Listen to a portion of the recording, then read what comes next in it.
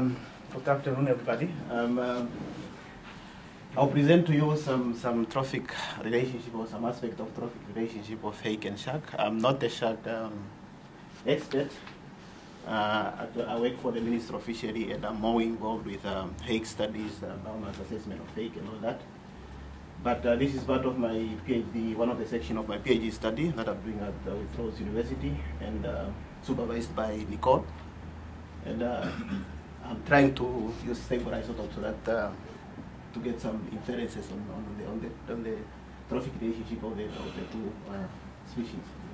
The reason that I'm doing it is that because uh, these two, the hake and shark, they do have depth, uh, the, the three species that I look at, they do have depth, uh, overlapping depth distributions. Uh, when you do survey, we catch them, and we catch them at station where you mostly catch, where we, where we are also catching hake. And uh, some stomach content studies that have been done previously on, on shark indicated that shark eat, uh, eat hake.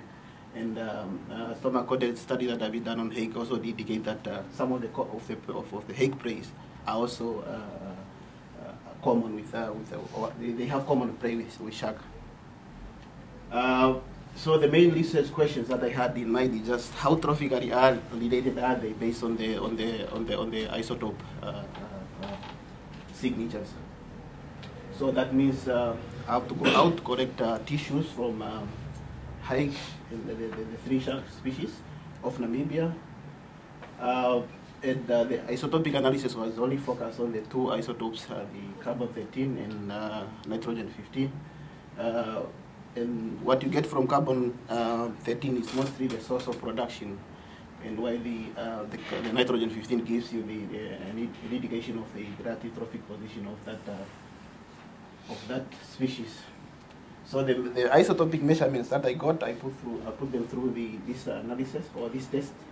Uh, the first one was just uh, an ANOVA um, with uh, HSD uh, post-hoc test, just to look at the if there is a significant difference between the, the, their values and also to, to, do a pair, pair, pairwise comparisons. And then I used another method, uh, SIBER, which was, was published by in 20, 2011. What this method does, it's, it's mostly comparing um, trophic niches of, of, of different organisms. And the advantage of this method is that uh, commonly uh, in, in stable isotope studies, we, we are comparing so many organisms with different sample sizes. And this one is more, it, it's, not that independent, but it's less affected by the sample sizes. So you will be able to compare um, organisms with different uh, sample sizes. And then I used uh, uh, SIAR. This is just uh, one of the uh, isotope mixing models that is also been published in 2010 that that uh, the basis the basic idea behind this is just that one can be able to have um, an idea of feasible contributions of uh, of, uh, of a certain source into the uh, stable isotope measurements or values of, uh, of, of a predator. So I've used it to, to look at uh, uh, the contribution of hake in the diet of the three shark species and also the contribution of other prey in the in the in the in the, in the diet of, of, of, of sharks. This is the, just isotopic chara- characteristic, just a summarization of, uh, of, of, of, the data that I have. A number of, uh, of uh, hake and a number of sharks. And, um, and this, this, this is the trophic position uh, calculated based on the, on the uh, nitrogen 15. And uh, what you can say is that one of the shark, uh, most of the sharks have uh, higher trophic position than, than, than, than species. But one of the weakness of the of stable isotope is that trophic position it is calculated based on the um, assumed trophic elation factor, which differ from species.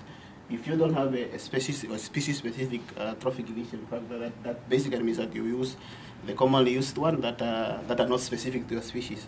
So this is just an idea. It might not be um, it, it, until we get uh, species-specific uh, trophic enrichment uh, factors for, for, for hake. These are just uh, based on the assumption of the commonly used um, enrichment factors.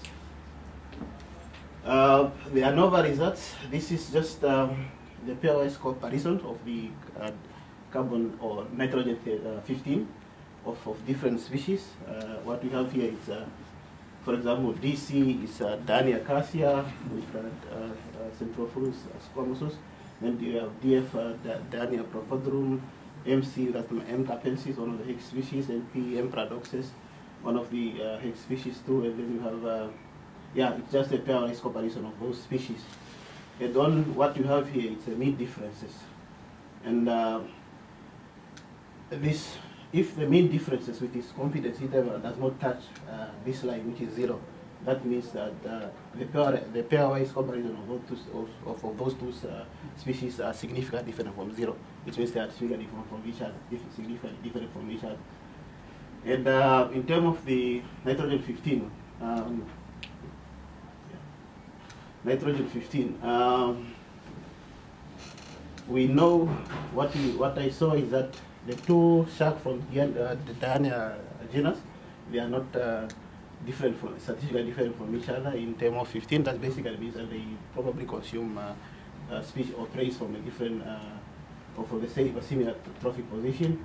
And then you have M. paradoxus, one of the Hake species, and D. uh, the one of the shark species, that are also not trophically different from each other. This is what I didn't expect because I know sharks are supposed to be um, top predators and uh, now uh, I'm seeing that they, is, it depends on the species. There are some sharks that are so different from hake, but uh, Pradoxus, that is not trophically different from uh, uh, but then the two hake species are also not uh, statistically different from each other, which is uh, which is not surprising because um, I had a paper published last year that looked at the ontogenic trophic shift of the two hake species, and it also showed that they they, they are not um, significantly different from each other.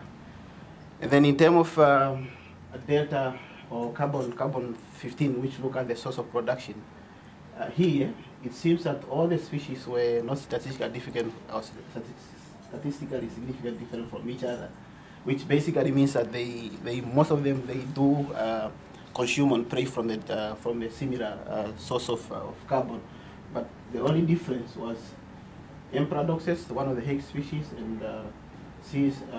squamosus, one of the shark species, they were completely different from each other.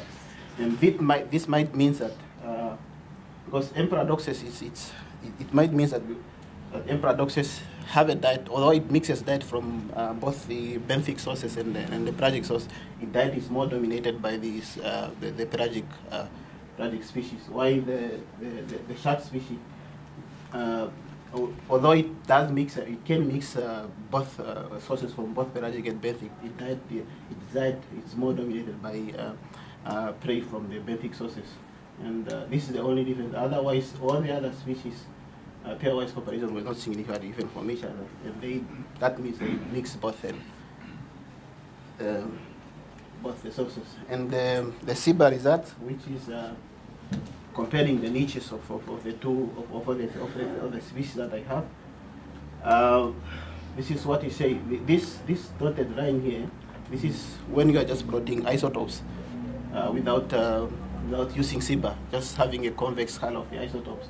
And this is this is what the SIBER uh, uh, program is trying to, to avoid because this this convex hull changes with sizes. So if you add another uh, sample there, it, it, will be a different, a different uh, uh, convex hull too. So SIBER tries to avoid that, and this is uh, they say so. According to the those guys that published it, they say it's independent or more robust against size. And what you can see here is that the black circle is C. squamosus. It seems to be the only species that is um, different from all the other species. It, not, does not overlap with, uh, with any of the species.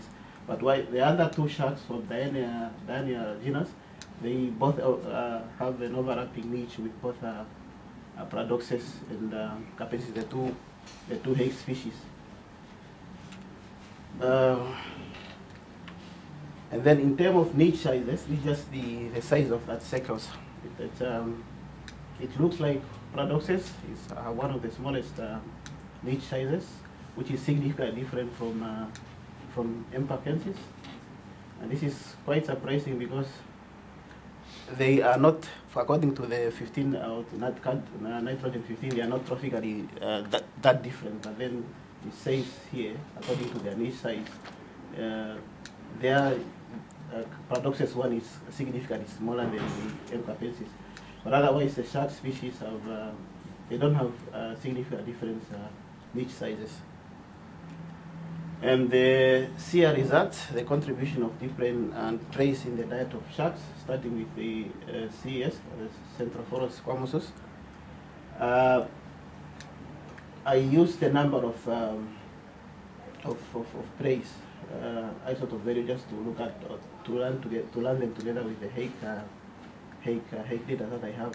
What you can see here is that for this species, there seems to be an increased contribution, contribution of crustaceans, while the Hake species, they are not that, uh, they, according to the raw result that I have, they are about 5 five percent. Uh, their contribution is about five percent into the diet of, uh, of, of, of, of this. The next species, um, the contribution of different species does not look to be so much different. That means it probably uh, feed on the variety of, uh, of, of, of, prey, and it's probably an opportunistic species too. It, it depends on the availability of the prey. And uh, the same the same applies to the, the this Deania or the another Deania profundorums, which, which uh, it looks to have a similar uh, dietary contribution of different species than the, the Deania calcea. So the conclusion, the preliminary conclusion that I got from this is that um, uh, the hake species and the um, some shark species, they do have overlapping trophic niche.